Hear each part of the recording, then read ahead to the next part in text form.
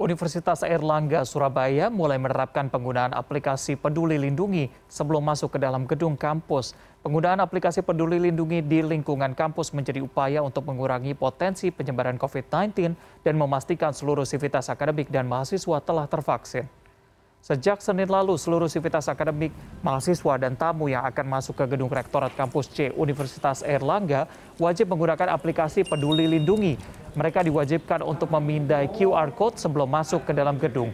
Untuk saat ini, penggunaan aplikasi Peduli Lindungi baru diterapkan untuk gedung Rektorat.